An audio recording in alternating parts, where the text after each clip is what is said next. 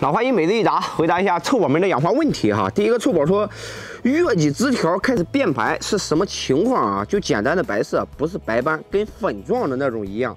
这种呢就是白粉病啊，但是呢我看的呢是没有白粉病的一个体现。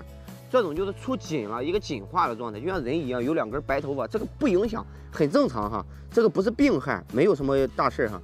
其他叶片都挺好，这种你不用担心。如果说你实在看它碍眼，你就剪掉。月季是非常耐修剪的，好吧，臭宝，这个没问题啊，正常养护就好了。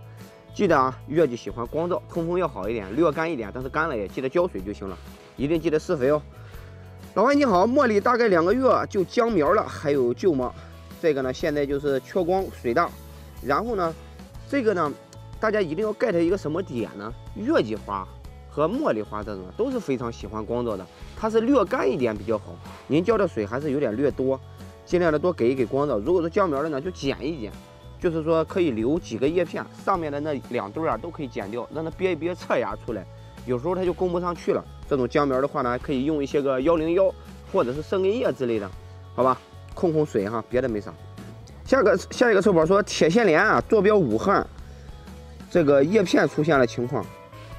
这种呢，就是应该是水大缺光通风差，因为它是发黑，还是有点那种花友，你就拿捏不住。铁线莲这个呢，它非常喜光，你等它略微干了再浇。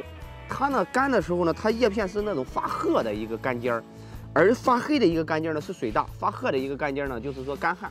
所以说一定要 get 这个点啊，浇水还是稍微拿捏一下，不干别老浇。家里边有杀菌药的话，记得每回浇水的时候稍微带上点，或者说每个月来一次，预防预防，省得得立枯病。给足光照，加强通风，控制浇水。下个周宝说垂丝海棠有点发黑，怎么处理？一般发黑呢，像这种的话，我简单的看了一下盆土啊，不是特别的湿。一般呢都因为什么呢？花友你可能用了什么肥料之类的，它才会出现那种发黑。不过看的是不明显，看的是不明显哈。之前是不是挺多的叶子？然后现在是病入膏肓，你又给它救活的那种感觉呢？干了也记得浇水啊。加强自己的通风和日照就行了。现在已经出叶子了，不影响。施肥的话，过一个礼拜或者是两个礼拜之后再去施肥，不要盲目的去用肥料。